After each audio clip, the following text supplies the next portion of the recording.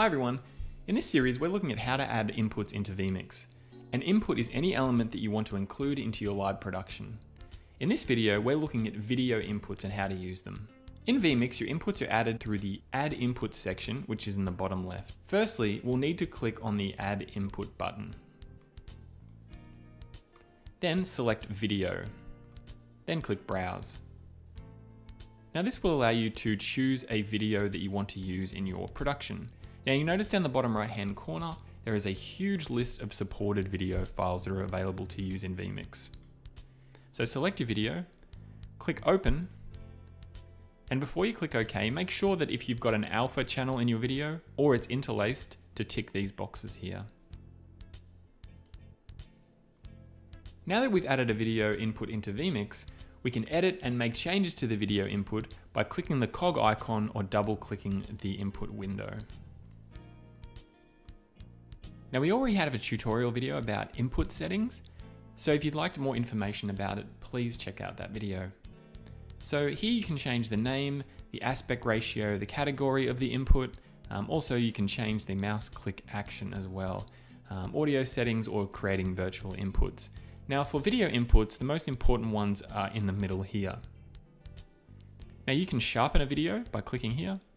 You can use this to zoom in to check the effect.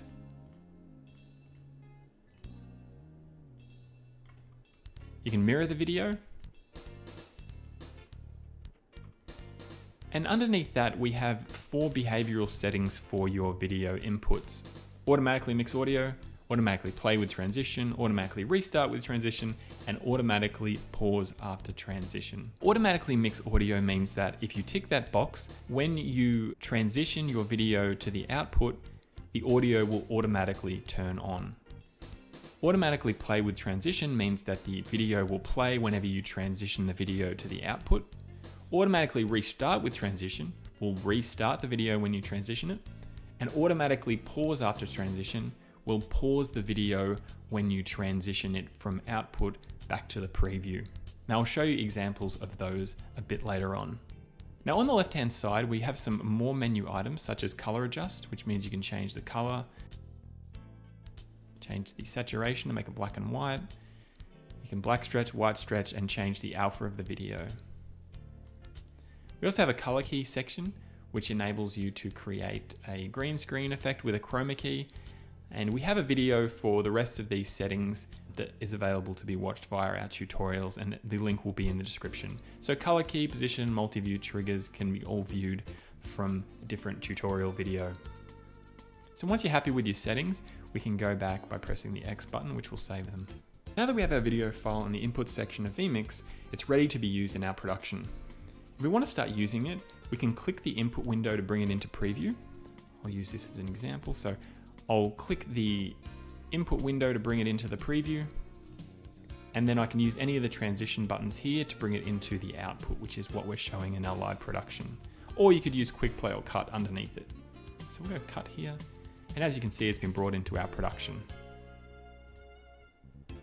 Now you'll notice that it automatically played when I transitioned and it automatically paused when I brought it back. These are the settings that we've changed that we can change here in our input settings. So if you didn't want it to automatically pause or automatically play, you could tick these buttons here. So if we want to make it automatically restart with a transition, we can tick this button. So what that will do is when we play this video now, it'll go back to the start of the video. And when we transition it back, it will then restart again. So you notice here it's gone back to zero. And if we bring it back, it goes back to zero again. Now these numbers represent how long the video has been playing for. Um, how long the video is and how long there is left to go in the video. Now we can use vMix in a couple of ways to queue up our video. We can press play on the input or in the preview and then work out the point that we want it to play to and then click pause. And then we can transition that across. Because we've already selected to restart, we'll just need to turn that off. So now we've selected the six second mark, we can bring that across and it will play at that position.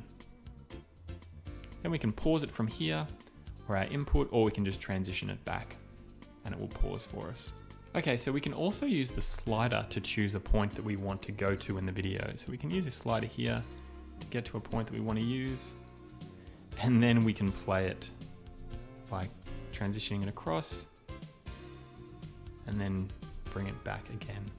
Now you can actually set in and out points on your video as well. So if you queue up a certain section that you want to play, um, you can set the in and out points. By default, the little green and red button will be at the start and the finish because it's going to play the whole video.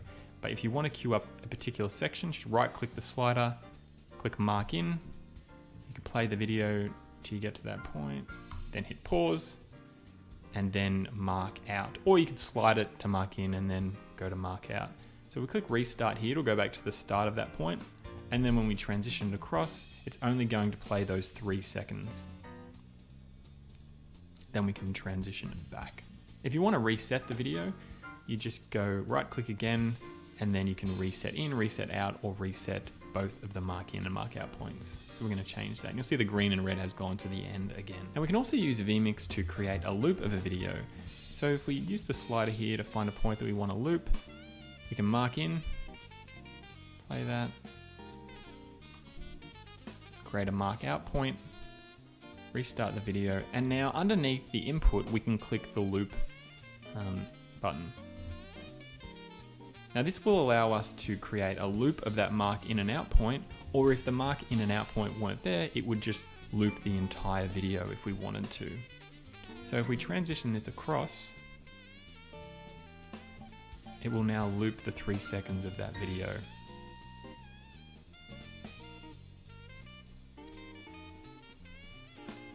Now some people might actually want to play their video at all times in their vMix production.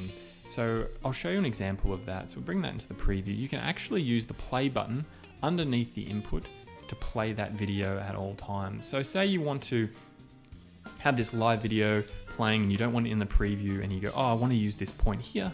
We can just cut that directly across like so. And then we can bring it back. Say for example, you have, you want it to continue to keep playing when even when you transition in and out, go to the cog icon and then remove the automatically pause after transition section.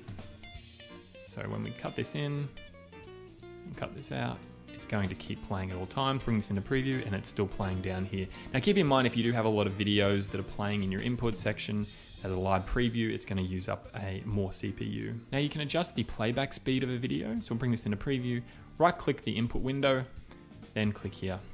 So this will allow you to speed up the video or slow it right down. If you want to bring it back to 100%, just click the numbers here and click 100%, click right to close it. Now we're going to look at audio for your video input.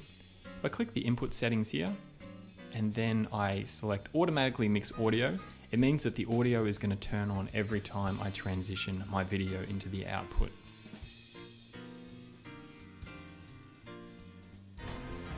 So as you can hear now, the audio is on, the audio light has gone on underneath the input, and the audio has been turned on in the audio mixer.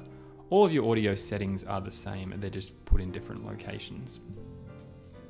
So if I transition this back across, the audio is going to turn off. Now the video is still playing because we left it to automatically play and not pause. Some people like to be able to use the audio of a video throughout their entire production, and you can do that as well by playing the video and you select the audio button here.